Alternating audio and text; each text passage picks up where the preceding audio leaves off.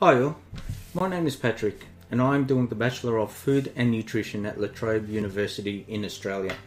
Today my talk will be about culture and how different cultures can influence our perception and understanding of health and illness. Coming from a different cultural background, I find this area of great interest as I can relate to many aspects of the differences described in this topic. Firstly, let us look at health and what health means to you. So, what is health? Health, as described according to the World Health Organization, is a state of complete physical, mental, and social well being and not merely the absence of disease and infirmity. We are all different, and what one may see as healthy, another may perceive differently. For example, one might see health as being thin, while cancer patients might define health as being in remission. So, what is culture? Culture is a set of shared values and beliefs that affects people's perceptions, decisions, and behavior from a particular geographical location in the world we live in. Therefore, it is essential to understand how different cultures can influence our perception and understanding of health and illness. Cultural beliefs can be very diverse, which can influence our perception of health and illness in countless ways. Let's look at an example in the Philippines. Traditional culture puts a very high value on the family, predominantly motherhood.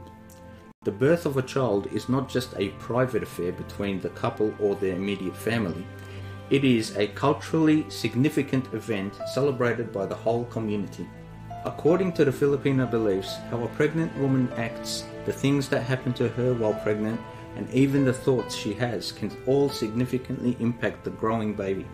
Pregnant Filipino women have a long list of beliefs, warnings, and taboos restricting their daily lives until birth. Some examples are that a pregnant woman's cravings must be fulfilled promptly, or she could suffer a miscarriage. In addition, a pregnant woman should not wear anything around her neck, or the baby might get strangled by the umbilical cord. A pregnant woman must also avoid looking at something blemished, scary, or ugly because that could cause the baby to be born disfigured. A great deal of our cultural structure plays a substantial role in how we perceive the world, healthcare, and the ethics of the healthcare delivered.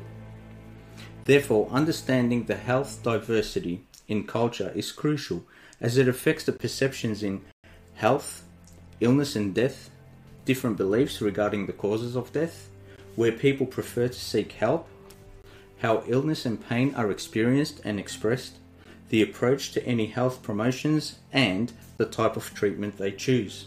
We are all born into a culture in which we learn how to think and behave, and the traditions we are raised in would often dictate our customs and beliefs. Therefore, understanding diversity is one of the many components of creating an ethical approach to patient care.